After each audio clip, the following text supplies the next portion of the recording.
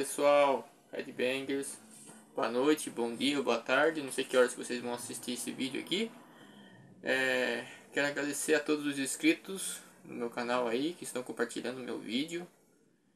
E para quem ainda não sabe quem eu sou, eu sou o Thiago de Oliveira, né?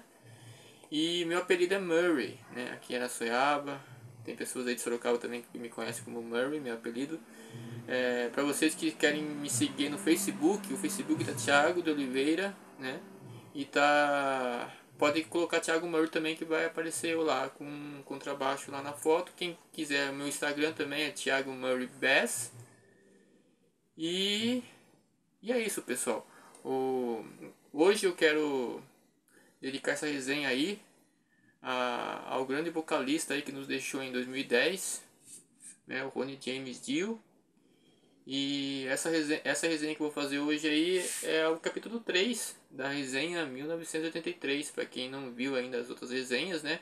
Que eu fiz a, o capítulo 1 fiz do Saxon, do Power and the Glory, e o capítulo 2 do Bark the Moon, né?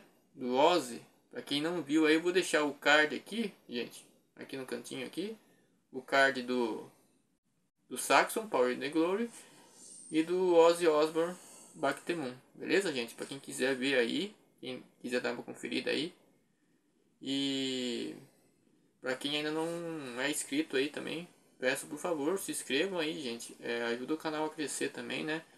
Que eu ainda tô começando aí, quero mais pra frente ter milhares de pessoas inscritas aí, quero trazer conteúdos aí que ajudam aí quem tá começando também aí conhecer um, um pouco de, de bandas, né? Conheço inúmeras bandas, quero ajudar também o pessoal aí ter mais um sabedoria aí das bandas, beleza, gente?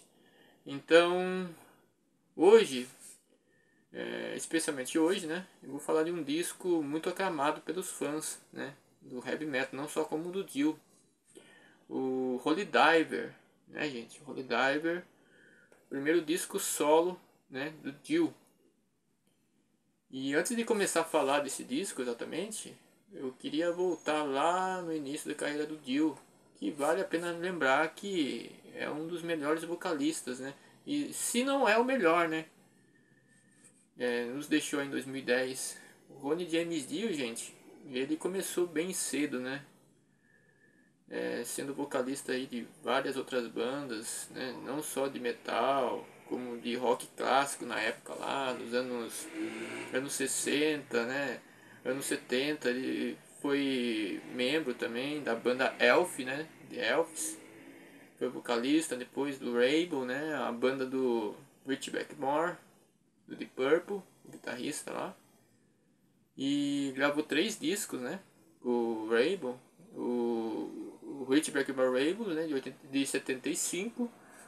O Raising, tem gente que fala Rising, né? Tem gente que fala Raising, Rising o segundo disco do Rainbow, lançado em, em 1976, e também o Long Live Rock and Roll de 1978. Esses três discos aí do Rainbow foi com Ronnie James nos vocais. E logo após né, a sua passagem no Rainbow, o Dio foi o substituto de Ozzy Osbourne no Black Sabbath. Como todos sabem, né, fez uma mudança aí para quem era fã do, do Black Sabbath na época, né? Não, não, não gostou muito, mas logo depois eles ouviram o disco Heaven and Hell, né, de 1980 e deu um, um up aí pro, pro Sabá, né? O né, Yumi lá, o, o Deezer Butler e o Bill Ward aí estavam com um, um anão, vamos dizer assim, né? que o Dio nunca foi alto, né? E levou o apelido de anão aí, do Ozzy Osbourne. Né? Mas fez um belo, um belo serviço, né? Um belo trabalho no disco Heaven Hell, que é um dos melhores, né? Do Black Sabbath, mesmo não sendo com Ozzy. Em 81 ele gravou o segundo disco, né? Até então o Mob Rules, né? E nesse disco Mob Rules teve a entrada, eu vou falar já já, que também vai ser importante, né? teve a entrada do baterista Vini Apse. Ele substituiu Bill Ward, porque né, Bill Ward estava com problemas nas drogas, problemas de saúde, e teve que ser substituído. Aí em 1982, né, o Black Sabbath lançou seu primeiro disco oficial ao vivo, o Live Evil. E aí, gente, começou a tretaiada, né? A maioria das bandas sempre tem uma treta aqui, uma treta lá. E na hora da mixagem, né? Teve aquele negócio de uh, aparecer mais o vocal, aparecer mais a guitarra, aparecer mais o baixo, enfim. Uma discussão aqui, discussão lá e o Dio acaba saindo do Black Sabbath. É, gente. No mesmo ano que o Ozzy também lança o, o Speak the Devil, né? O disco ao vivo, né? Teve uma, uma briga aí, gente.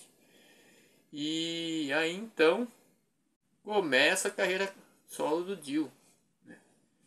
E aí, gente, é muito importante é, ressaltar o Vini Apse que eu falei para vocês agora, né? Que gravou Mob Rules. O Dio, ele trouxe o Vini Apse junto dele para formar uma, uma banda. Né? Ele levou o nome Dio, o próprio nome do Dio. E então, gente, o Dio trouxe o Vini Apse para bateria, né? O baterista que ele tocava no Black Sabbath.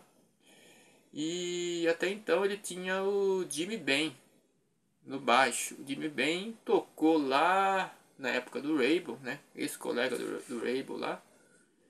E aí, gente, eu vou contar uma coisa que acho que pouca gente sabe.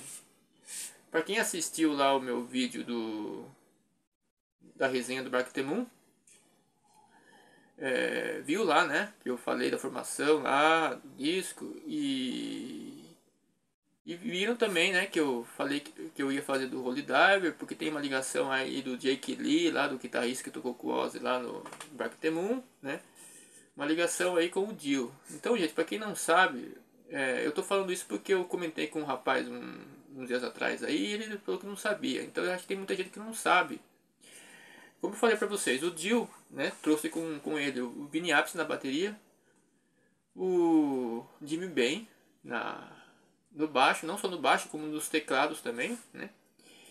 E nas guitarras, gente, teve uma audição de, de vários guitarristas, né? Para o, o posto de guitarrista, né? Para a nova, a nova não, para a formação da carreira da carreira solo do Dio. E antes do, do Jake Lee, né, fazer a audição para entrar no, na banda do Ozzy, o Jake Lee passou e fez uma audição com o Dio, gente. É isso mesmo, gente, que vocês estão escutando. Jake Lee, o, o guitarrista que foi substituto do Randy Rhodes no, na banda de Ozzy, passou pelo, pela banda do Dio mas não, não gravou exatamente né, nenhum álbum. Ele apenas fez uma audição e essa passagem rápida, gente, levou a uma composição né, entre o Dio e o Jake Lee.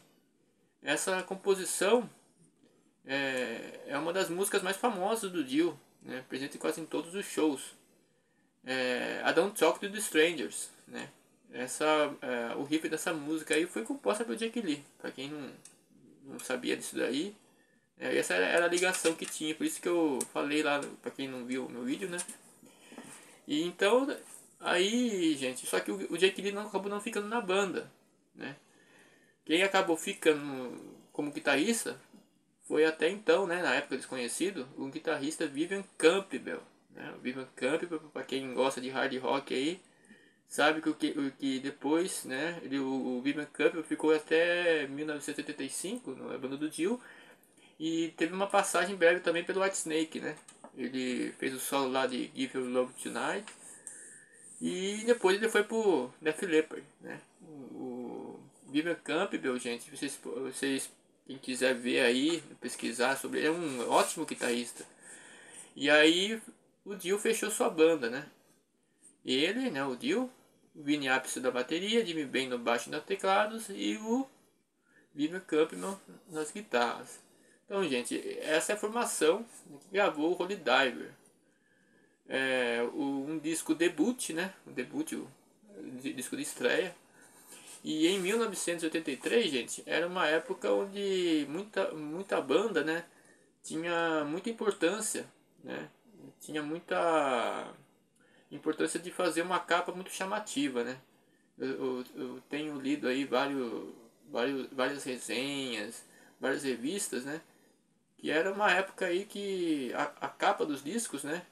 Tinha que ter uma, uma forma de chamar os fãs. E aí, até então, né? O, a esposa do Dio, a Wendy, né? Teve a ideia de fazer uma capa, uma arte na capa, né? E aí que surgiu o mascote, né? Entre aspas aí, gente, eu vou deixar bem claro, né? O, o mascote do Jill, aquele demoninho lá, ele se chama Murray. Só que, gente, não, é, não tem nada a ver esse Murray com o meu apelido de Murray, tá, gente? Tem muita gente que confundiu aí, é porque é o demoninho Murray. Eu fui, eu fui ficar sabendo, gente, eu, não tava, eu, não, eu também não sabia que o, esse mascote aí se chamava Murray deixar bem claro aí, gente, é, o meu apelido é Murray por causa do Dave Murray do Iron Maiden, tá? Não tem nada a ver com... Coincidentemente também é Murray. E voltando a falar, esse mascote aí, gente, nasceu nesse disco, né? Acaba desse disco aí, né? Ele tá jogando um padre, né? Acorrentado no mar. Uma capa aí muito chamativa, né? Eu acho que para muitos aí é uma capa satânica, né? Muita gente pode não gostar aí. E muita gente que eu falo que tem gente que não gosta, né? Tem gente que julga a capa aí, não escuta o disco. E assim, gente, é, o Jill, é, como ele teve a passagem no Rainbow, né? Como a banda do Rainbow era, do Rich Blackmore, o Jill não, não tinha liberdade de, de escrever as suas próprias músicas, igual no Black Sabbath, né? o Tony Iommi, tinha aquele negócio lá, o Deezer Butler, que era o letrista. Então, assim, a, a partir que o, a partir que o Dio começou a fazer sua carreira solo, né, ele teve mais a liberdade de escrever suas letras, suas metáforas, né, que ele sempre quis, que ele sempre gostou disso, gente. Para quem não nunca leu sobre a biografia do Dio aí, vale a pena pesquisar um pouco aí no YouTube. Tem o, a, o documentário, né, do Dio, é, vale a pena assistir. Eu vou, em breve, eu vou remasterizar esse documentário aí e vou colocar legendas para quem quiser assistir aí. Em breve vai estar no meu canal, tá? Então, gente, o Ronnie James Dio é, foi, né, um grande vocalista, do, principalmente no metal. E o Holy Diver, o disco que estamos falando hoje, é um disco muito aclamado pelos fãs até os dias de hoje. É um disco que foi relançado em versão deluxe, como a maioria né, dos discos aí de heavy metal, de, de metal, de rock, de rock clássico. Muitas bandas estão relançando seus discos, né? Estão fazendo versões deluxe, versões remixadas. O que acontece é que tem muitas músicas que foram gravadas originalmente em fade out. O que é fade out, gente? Tem muita gente que não, tem muita gente que não sabe o que é fade out. Fade out é quando uma música não tem fim, ela vai abaixando e vai terminando. E no Holy Diver, né, nesse disco Holy Diver aí, a música Invisible, ela é out, a Call no Middle também é out, o, e a versão do disco que foi relançado em 2022, gente, é, tem uma versão remixada onde essas músicas que terminam em out, elas têm uma elas têm um fim, elas têm um, uma versão remixada, né? E elas levam até o fim.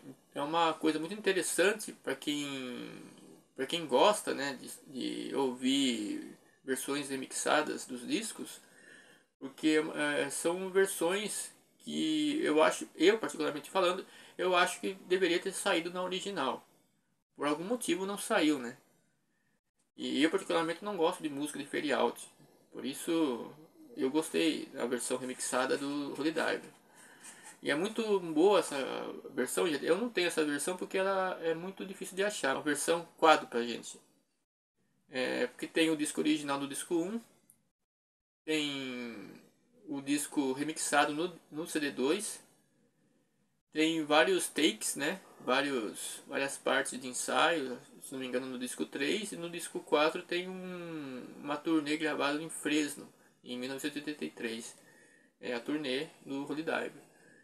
E para quem tem aí, né, peço que, que, sei lá, façam os comentários aí sobre o, a remixagem aí, sobre o encarte. Quem estiver assistindo esse vídeo aí, quem tiver essa edição em mãos, peço que comente aí, gente. Porque é muito da hora. Assim, eu só vi, né, no YouTube, os unboxing, eu nunca peguei e segurei um assim na mão. Es, essas edições são muito caras, né?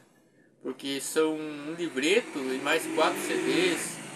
São coisas bem raras e ainda mais sendo do Dio, né, gente?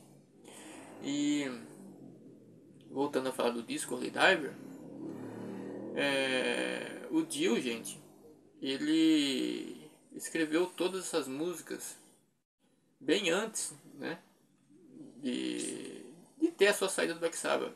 No caso, ele tinha essas músicas escritas, só que nunca apresentou, né. E tem uma das músicas que ele não queria que entrasse no disco, que é a Rainbow in the Dark. O, o Dio mesmo, por vontade dele mesmo, ele não queria é, que essa música entrasse no disco, porque tinha uma, um riff de um teclado que segundo ele não gostava. E por por vontade do Jimmy Ben, do Vinny Appice, né, que ficaram falando, não, tem que colocar no disco. Porque a, a, o disco ia sair com oito músicas. Então acrescentaram Rainbow the Dark e ficaram nove, né, nove músicas. E por coincidência do destino, a Rainbow the Dark virou um, um clássico aí, né, do Dio. Junto com a, a, faixa, a faixa título, a Holy, a Holy Diver, a Rainbow the Dark são os dois singles aí do disco. Né. Rainbow the Dark aí é uma música que, para quem não conhece o Dio, aí é uma música de, de visita aí, né. E assim, gente, a, o Dio em 2005, em 2005 ele tocou o disco na íntegra ao vivo, né? na, na mesma ordem do disco. Foi muito, muito espetacular para os fãs, né? O disco ao vivo, hum, na íntegra, né? E só que na, na é formação diferente, né, gente? Porque o, todo mundo sabe que o Dio é, nesse quesito é igual o Ozzy, nunca parou com o mesmo guitarrista, nem com o mesmo baixista e o tecladista nem baterista. Por mais que ele tenha trazido o Vini Appice, né, o Vini Appice ficou com, acompanhou ele até 1989. E também o essa, na verdade essa formação, né, que gravou o Holy Diver, gravaram três discos, que é o Holy Diver, The Lesson Line de 84 e o Secret Heart de 85, né? Foi aí que teve a, a saída do Vivian Camp, foi, foi pro White Snake, e aí teve a entrada do Greg Code, né, o guitarrista que, que gravou Dream Evil. E o disco Holy Diver também, gente, é, saiu numa edição que eu não sei falar para vocês se é uma edição argentina ou se é uma, uma edição inglesa. Eu peguei um. Eu, tro, eu fui numa loja esses dias e troquei um disco e, e peguei uma edição que tem umas faixas bônus, com entrevista que deu que Dio teve lá e teve áudio, áudio das entrevistas, teve letras no encarte também, né? Uma coisa que eu adoro são letras no encarte. E a versão americana, gente, do CD, uma versão mais simplona, ela não tem a letra no encarte. Então é vale ressaltar que esse, pelo jeito o Holy Dive foi relançado em vários continentes, né? eu acho que na versão euro, europeu, né, a versão europeia, é, ela está fora, fora de catálogo. Eu não encontrei ela nem no Mercado Livre, nem em, nenhum, em, nenhum, em nenhuma plataforma aí. É, e o Dio, gente, né, é, ele faleceu em, no dia 16 de maio de 2010, para quem não sabe, né, tem muita gente que não sabe a data exata que ele faleceu. E foi no, no mesmo mês que ele lançou o Holy Diver em 1983, né, em maio. Ele lançou dia 25 de maio de 83, foi a data do lançamento do Holy Diver. E vou falar agora das faixas, gente. O disco começa com Stand Up and Shout, né? Uma música aí bem alegre, né? Que faz a gente bater cabeça aí. E a faixa 2 já começa com uma introdução de 1 minuto e 15 mais ou menos e começa a faixa título Holy Diver. O que, que eu acharia melhor? Colocar, né? Eu acho que eu, igual aconteceu lá no Mundo Oz, né? Mudarem a, a, a ordem né, das músicas. Eu acho que a, a faixa título deveria ser a número 1 um por causa da introdução e, e vice-versa, né? É claro que na época, né, gente, é, ninguém tem como adivinhar, né? A música vai fazer sucesso, a música que não. Mas seria legal uma, um relançamento aí com a ordem das faixas né, mudadas aí. E também tem a, a faixa lá Cog the Middle, né? Que é um, uma faixa bem hard rock, que foi cantada aí pelo Nando Fernandes, né? Um ótimo vocalista aí, brasileiro aí. Foi cantada na banda do Vini Apse, que o Vini Apse tocou aí né, recentemente em Sorocaba, aqui, a cidade vizinha. E eles tocaram Cog no Middle, né? Tocaram a maioria das músicas do, do, da carreira só do Dio, do, não só do Dio, como do Black Sabbath também. Tem a Doctor to the Strangers, a balada super da hora, né? Que é, é uma balada que depois começa o peso. Uma ótima música que não pode faltar nos shows do Dio. E exclusivamente essa música não foi tocada, né? Na banda do Appice. Uh, Straight, Straight Through the Heart também. Né? Straight Through the Heart é uma música que começa com a bateria. Depois começa todo mundo junto lá com a guitarra, o bass, né, o baixo. E assim, gente, a Rainbow the Dark, como eu falei pra vocês, é, ganhou o videoclipe, né, junto com a faixa título, Holy Diver.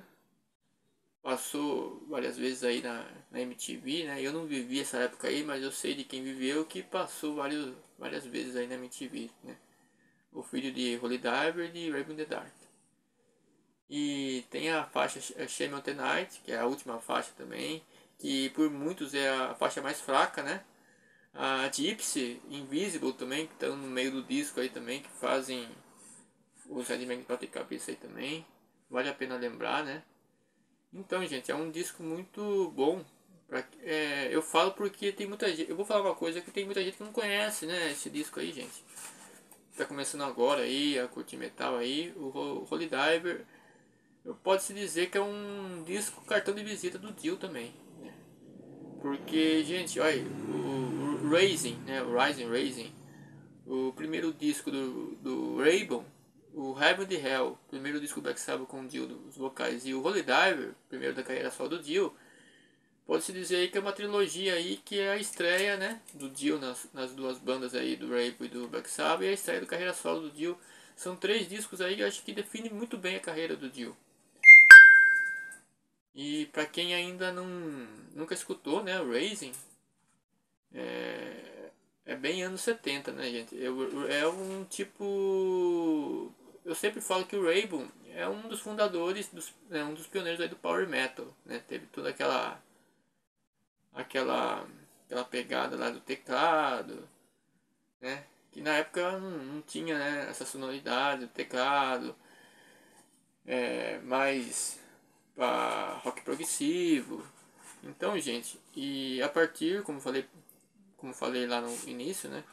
o Dio teve essa liberdade aí de escrever as letras dele, né? As letras que ele sempre quis mostrar aí de que tem a ver com cavaleiros, né? Templários, que é o o que tem a ver com power metal. Tem muita gente é, que pensa que é um disco de power metal por causa da capa, né? O Holy Diver. Mas na época, né, 1983 ainda não existia, né? o tal metal espadinha, né? Que tem muita gente que fala que metal espadinha aí é power metal. Já, já ouvi falar esse apelido aí com o pessoal da metal espadinha. E, e eu em breve quero ter uma camiseta do Holy Dive. Eu não tenho nada do Dio, gente. Por mais que eu adore o Dio aí, né? Eu tô começando a pegar umas coisas agora quando dá. Sempre quando sou uma graninha eu tô pegando. Então, gente, é, vale a pena escutar o disco Holy Diver. E eu quero fazer uma pergunta para vocês, eu queria que vocês respondessem aí nos comentários. É, é, claro, né? Além da faixa título, né? Além da faixa título, gente, Holy Diver, quais vocês mais gostam aí do, do disco? Qual, qual a faixa que vocês mais gostam do disco? Eu estou perguntando isso para vocês responderem aí nos comentários, para conhecer um pouco mais o gosto de vocês, de quem está assistindo o vídeo aí, gente. E eu quero convidá-los também para assistir a minha próxima resenha, né? Que é a, próxima resenha que eu vou gravar, o capítulo 4, que vai ser do Peace of Mind, o, o quarto disco de estúdio do Iron Maiden, minha banda favorita, Iron Maiden, né? Eu, é, essa vai, esse vai ser meu, minha próxima resenha, capítulo 4. É, em breve eu vou estar gravando aí para vocês. E e é isso, gente. A, a resenha do Solidário é isso aí. Então, para quem ainda não escutou esse disco aí, recomendo. É de escutar da primeira até a última faixa aí. Recomendo escutar uma vez, escutar duas vezes, escutar três vezes, porque, gente, não enjoa, sabe? Dio é uma pessoa que não enjoa. Se bem que tem gente que não aguenta mais escutar Dio, porque é isso, porque é aquilo. Mas eu acho que o Dio é bom tanto no Black Sabbath como no carreira solo, no, no Elf, no Rainbow. É, uma, é, um, é um vocalista completo, né, gente? Então, gente, eu quero me despedir hoje de vocês aí. Quero agradecer quem está assistindo o meu vídeo até aqui. Quem está compartilhando também, quero agradecer muito. E eu quero que vocês escrevam nos comentários também, gente, é, o que, que vocês estão achando né, das minhas resenhas. E isso é muito importante para mim, gente, porque eu quero saber a opinião de vocês, o que, que vocês acham, o que, que vocês o que vocês querem que eu, que eu faça, o que, que vocês querem ouvir nas resenhas. Isso é muito importante, gente, porque eu estou começando agora a gravar essas resenhas, né? E eu, sempre, eu comecei a fazer as resenhas no WhatsApp, né? Nos, nos estados, escrevendo, então eu estou abrangendo mais o caminho no, no canal aí, gente. Então, é, eu quero que vocês escrevam aí, né? Não custa nada, gente, né? Escreverem no comentário aí o que vocês estão achando, é, de qual assunto que vocês, deve, vocês acham que eu deveria falar, né? O, o que, que vocês concordam, o que, que vocês não concordam, né? É, escreva aí, gente, não custa nada. Eu quero muito conhecer a opinião de vocês. É, eu quero mandar um abraço aí para um, amigos aí do rock and roll é, tem pessoas aí que vão estar me assistindo. É, não sei se o Vitor, né, do Tal Acordes aí, me pediu para fazer uma resenha do Vakin Alpiar. Eu não esqueci não, Vitor. Eu ainda vou fazer aí a resenha aí, ó. Fazer. Ele fez esse pedido aí.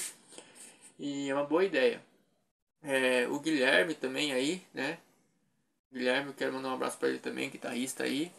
Ele me pediu também, né, para fazer a resenha do Pantera eu, falar bem sincero pra vocês, eu, eu não sou muito fã do Pantera, mas eu com certeza farei uma resenha do Pantera aí, falando por causa, porque o motivo que eu não gosto muito do Pantera, mas vou fazer uma resenha aí sim, um, um disco e vou mandar um abraço. E, e aproveitando, gente, vou mandar é, um abraço para um, um outro amigo que também se chama Guilherme, né? Eu tenho vários amigos que chamam Guilherme aí. Esse Guilherme do Pantera aí, gente, é, é, uma, é uma pessoa. E esse outro Guilherme que eu vou falar agora é outra pessoa que também se chama Guilherme. Que também é guitarrista e já toquei com ele, né? Um ótimo guitarrista aqui da cidade. Guilherme Anflor, né? Anflor, Anflor, né, Gui? Não sei como fala aí. É, Sushi Man. Recomendo comida japonesa de primeira qualidade aí, gente. Olha, é, eu, eu sou japonês, mas falar pra vocês, a comida dele é muito gostosa, então eu não, vou, não quero falar muito, mas só quero elogiar aí que tá fazendo um bom trabalho aí, Gui. Beleza? E também, você também, Gui, quiser comentar aí, comenta aí nos, nos comentários o que, que você quer escutar aí, das resenhas, o que, que você... Inclusive, gente, para quem não conhece o Guilherme aí, esse Guilherme do Sushi Man aí, também guitarrista, Vou deixar um card aqui em cima, gente. Ó, tá aparecendo um card aí em cima. É, no, no, meu vídeo aí que tá no meu canal, do, da música Barquetemundo Ozzy, né? Eu tô tocando contrabaixo e o Guilherme tá tocando solo. Fez participação especial aí no solo. Né, Gui? O Guilherme aí arrebenta no solo, gente. Pra quem quiser conhecer ele aí, é um, ótimo guitarrista aí. Beleza, gente? E é isso, gente. Então, em breve farei, farei resenha desses pedidos aí.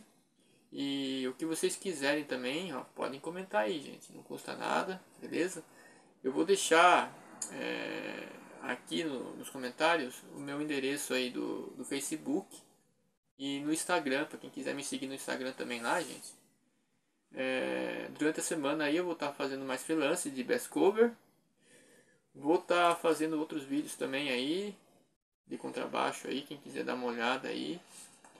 E é isso, gente. A resenha 1983, capítulo 3, fica por aqui. É, então a próxima resenha aí, vocês vão ver, é do Peace of Mind, né? Quarto disco do Iron Maiden, minha banda favorita aí. Marcou a entrada do Nick McBrain na bateria aí, então eu quero dividir tudo que eu sei aí para vocês aí, quero fazer várias vários comentários aí desse disco aí. Então no, no, minha próxima resenha aí vai ser desse disco, beleza, gente? Então eu quero agradecer mais uma vez aí quem está me assistindo, quem compartilha aí meus vídeos e quem curtir aí esse, essa resenha aqui, por favor, aperte like aí, gente. É muito importante também apertar em like. Que é uma forma aí do YouTube saber aí que tá, tá sendo muito útil esses vídeos aí. Beleza, gente? Então, mais uma vez, para quem não é inscrito, se inscreva aí no canal. É só apertar se inscreva, né? Inscreva-se aí para quem não sabe, é só apertar se inscreva e vai estar tá por dentro de tudo que rola aqui no meu canal. Então, gente, uma boa noite para vocês aí, uma boa tarde ou uma, um bom dia, né?